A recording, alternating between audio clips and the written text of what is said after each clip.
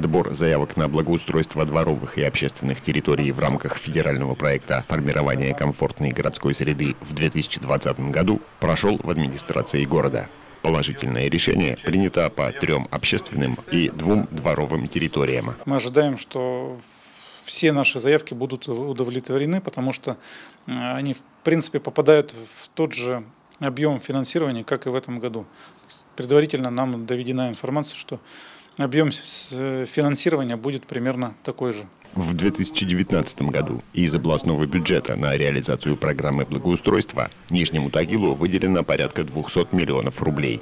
В заявку на следующий год попали территория микрорайона Муринские пруды, прилегающая к школе номер 100, парк Победы на Гальянке, территория микрорайона 9 поселок в границах улиц Салтыкова-Щедрина, Котовского и Калинина, а также дворы по газетной 87-95 и Ермака. 47, 49, 51, 55, 57, 61, Лебяжинский 30, 32. Доля софинансирования собственниками обязательных работ, проезды, освещение, скамейки, урны составит 5%, дополнительных 20%.